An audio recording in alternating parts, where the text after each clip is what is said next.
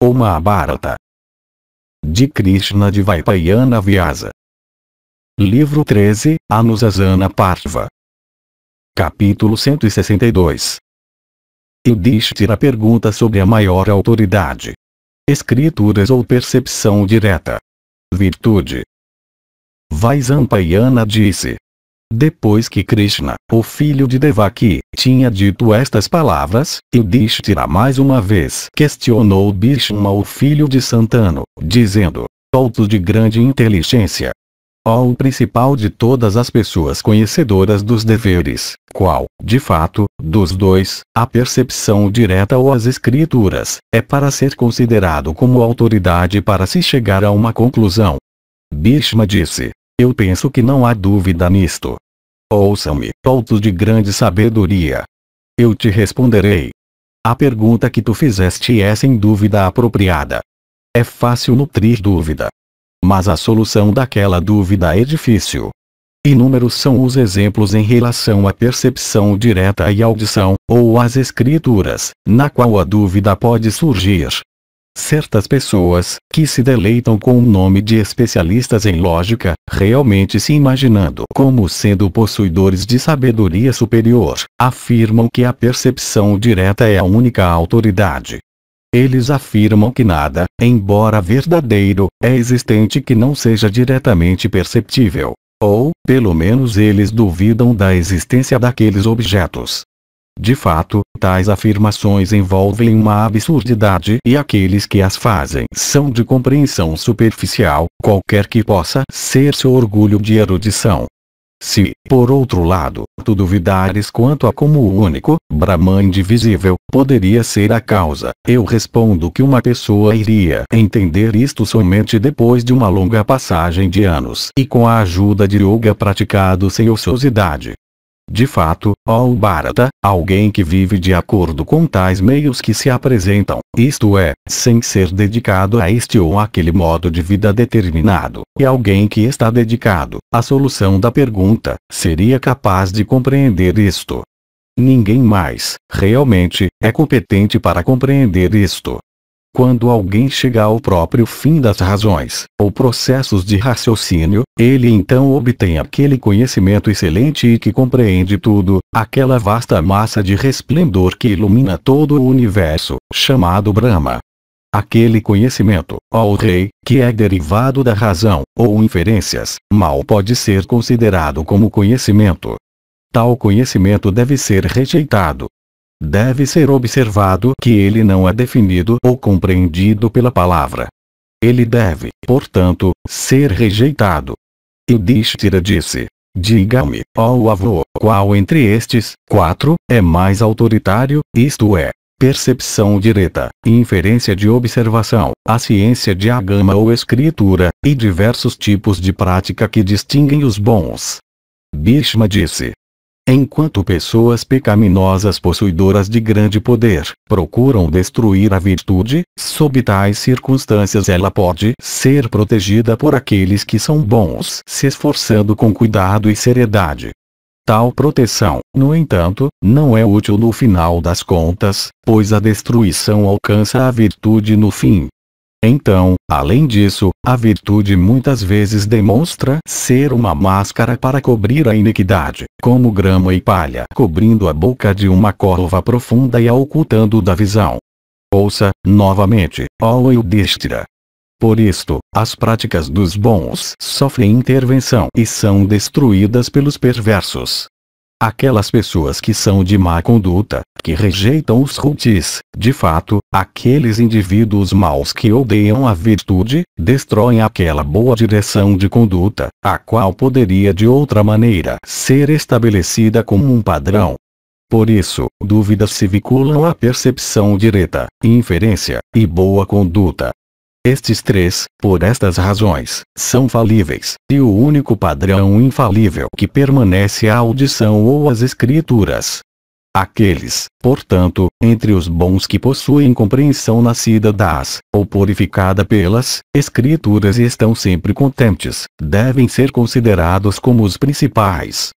Que aqueles que são ansiosos e desprovidos de tranquilidade de alma se aproximem deles, De fato, ó Yudhishthira, preste homenagem a eles e procure deles as soluções da tua dúvida.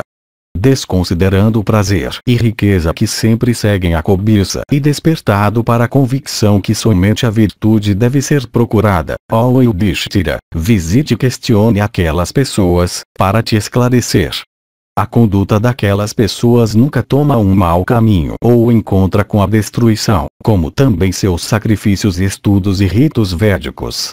De fato, estes três, isto é, conduta como consistindo em atos evidentes, comportamento a respeito de pureza, mental, e os Vedas juntos constituem a virtude. Yudhishthira disse. Ó oh, avô, minha mente está mais uma vez entorpecida pela dúvida. Eu estou neste lado do oceano, empenhado em procurar pelos meios de atravessá-lo. Eu, no entanto, não vejo a outra margem do oceano.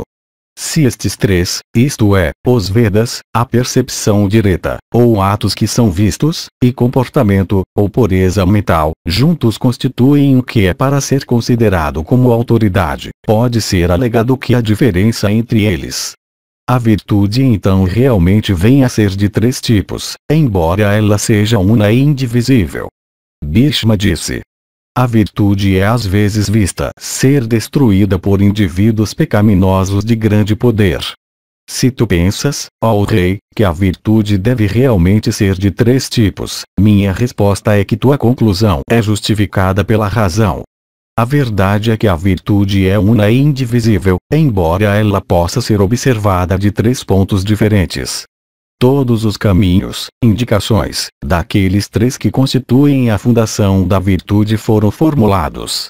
Haja de acordo com as instruções prescritas. Tu nunca deves discutir acerca da virtude e então procurar ter esclarecidas aquelas dúvidas às quais tu possas chegar.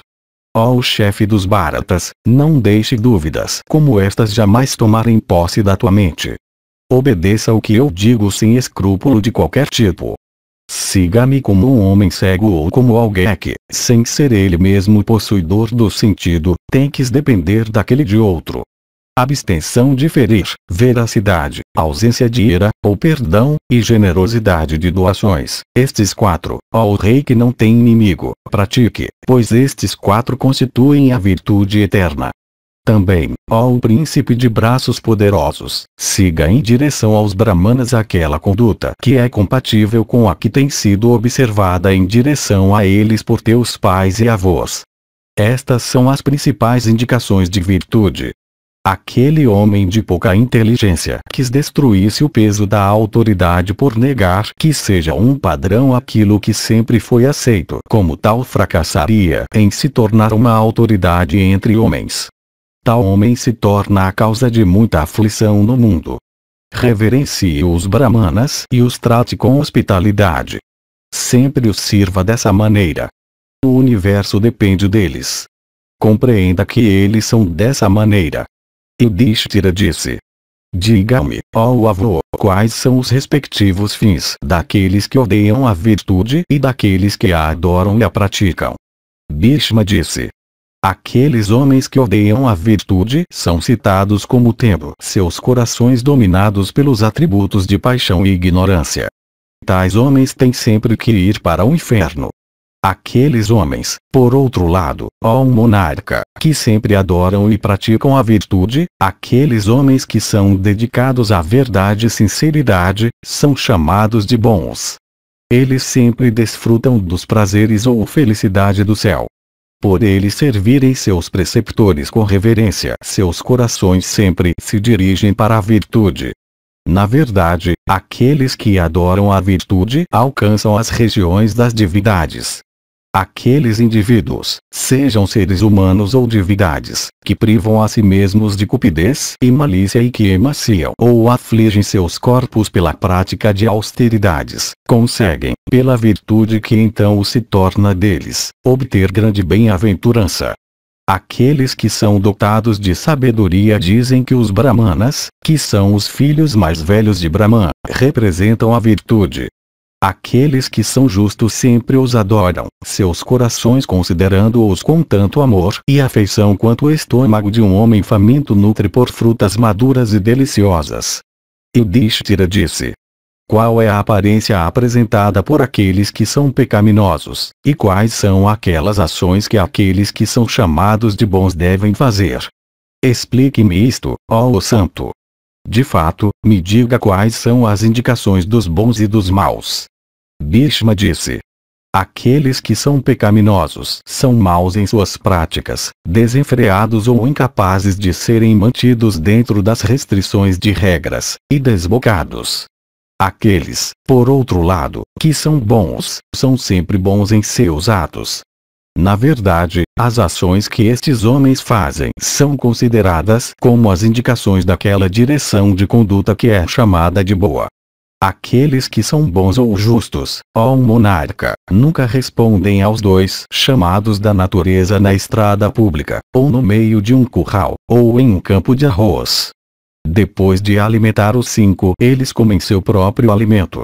Os cinco que devem ser alimentados primeiro são as divindades, os pitris, os convidados, diversas criaturas incluídas sob a palavra butos, e finalmente os parentes, eles nunca conversam enquanto estão comendo, e nunca adormecem com as mãos molhadas, isto é, sem esfregá-las para secar com toalhas ou guardanapos. Sempre que eles veem algum dos seguintes, eles o circungiram para lhes mostrar reverência, isto é, um fogo ardente, um touro, a imagem de uma divindade, um curral, um lugar onde quatro estradas se encontram, e um brahmana idoso e virtuoso, eles dão o caminho, eles mesmos permanecendo de lado, para aqueles que são idosos, aqueles que estão afligidos com cargas, senhoras, aqueles que ocupam cargos superiores na aldeia ou administração da cidade, brahmanas, vacas, e reis, o homem justo ou bom é aquele que protege seus convidados, empregados e outros dependentes, seus próprios parentes, e todos aqueles que procuram sua proteção. Tal homem sempre recebe estes com as costumeiras perguntas de polidez. Dois momentos foram designados pelas divindades para os seres humanos comerem seu alimento, isto é, de manhã e à noite. Durante o intervalo não se deve comer nada. Por seguir esta regra sobre alimentação, uma pessoa é considerada como fazendo um jejum. Como o fogo sagrado espera pelas libações a serem derramadas sobre ele quando chega a hora para o Oma, assim mesmo uma mulher, quando seu período funcional termina, espera uma relação sexual com seu marido. Alguém que nunca se aproxima de suas esposas em algum outro momento exceto depois do período funcional, é citado como cumprindo o voto de Brahmacharya. Anrita, Néctar, Brahmanas, e vacas, estes três são considerados como iguais, por isso, deve-se sempre cultuar, com ritos apropriados, brahmanas e vacas. Não se incorre em qualquer erro ou mácula por comer a carne de animais mortos em sacrifícios com a ajuda de tantras do Yajurveda. A carne da espinha dorsal, ou aquela de animais não mortos em sacrifício, deve ser evitada assim como alguém evitaria a carne de seu próprio filho. Uma pessoa nunca deve fazer um convidado ir embora sem comida, esteja ela residindo em seu próprio país ou em uma terra estrangeira. Depois de completar o estudo, alguém deve oferecer o dakshina para o preceptor. Quando alguém vê seu preceptor, ele deve felicitá-lo com reverência e cultuando oferecer um assento para ele. Por cultuar o preceptor, uma pessoa aumenta o período da própria vida, como também sua fama e prosperidade. Nunca se deve criticar os idosos, nem os enviar em algum serviço. Nunca se deve ficar sentado quando alguém que é idoso está de pé. Por agir dessa maneira, uma pessoa protege a duração da própria vida. Nunca se deve lançar os olhos em uma mulher nua, nem em um homem nu. Nunca se deve ter relação sexual exceto em privacidade. Deve-se comer também sem ser visto por outros. Preceptores são os principais dos tirtas. O coração é o principal de todos os objetos sagrados. O conhecimento é o principal de todos os objetos de busca. E o contentamento é a principal de todas as alegrias. De manhã e à noite se deve escutar aos conselhos importantes daqueles que são idosos. Obtém-se a sabedoria por serviço constante para aqueles que são veneráveis por idade. Enquanto lendo os Vedas ou empenhado em comer deve-se usar a mão direita. Deve-se sempre manter as palavras e mente sob controle completo, como também os sentidos. Com manjar bem cozido, e a vaca, crisara, e a vi, manteiga clarificada, deve-se adorar os pitris e as divindades nos rada chamado Ashtaka. Os mesmos devem ser usados em cultuar os planetas. Não se deve se barbear sem invocar uma benção sobre si mesmo. Se alguém espirra, ele deve ser abençoado por aqueles que estão presentes. Todos os que estão mal ou afligidos por doença devem ser abençoados. Deve-se rezar pela extensão de suas vidas. O costume de proferir uma benção sobre a pessoa que espirra parece ser muito antigo e difundido.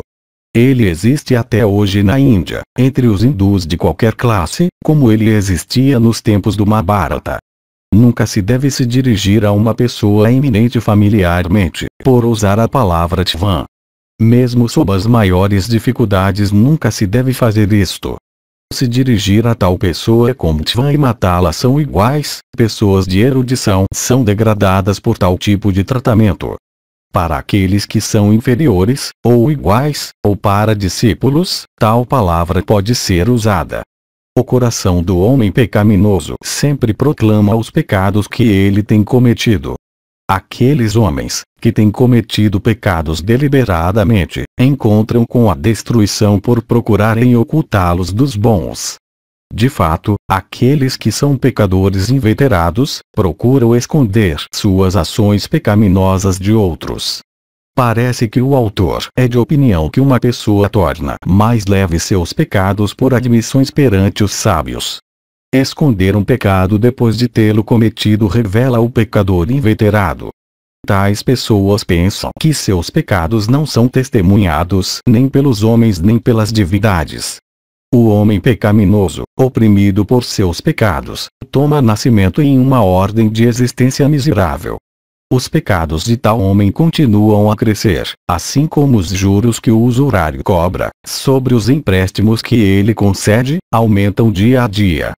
Se, tendo cometido um pecado, alguém procura tê-lo coberto pela virtude, isto é, se ele controla a si mesmo e se empenha em fazer ações de virtude, aquele pecado é destruído e leva a virtude em vez de a outros pecados. Se uma quantidade de água é derramada sobre sal, o último imediatamente se dissolve. Assim mesmo quando expiação é realizada, o pecado se dissolve. Por estas razões, nunca se deve esconder um pecado. Escondido, ele sem dúvida aumenta. Tendo cometido um pecado, uma pessoa deve confessá-lo na presença daqueles que são bons. Eles irão destruí-lo imediatamente, se alguém não desfruta em tempo do que ele armazenou com esperança, a consequência é que a riqueza armazenada encontra outro dono depois da morte daquele que a armazenou. Os sábios dizem a mente de todas as criaturas é o verdadeiro teste de virtude. Por isso, todas as criaturas no mundo têm uma tendência inata para obter virtude. Deve-se obter virtude sozinho ou sem ajuda. Realmente, uma pessoa não deve se proclamar virtuosa e andar com o estandarte da virtude ostentado no alto para propósito de exibição. São considerados como comerciantes de virtude aqueles que a praticam para desfrutarem dos resultados que ela traz. Deve-se adorar as divindades sem se entregar a sentimentos de orgulho. Similarmente, deve-se servir o preceptor sem falsidade, uma pessoa deve fazer planos para assegurar para si riqueza inestimável após a morte, a qual consiste em donativos feitos aqui para pessoas dignas.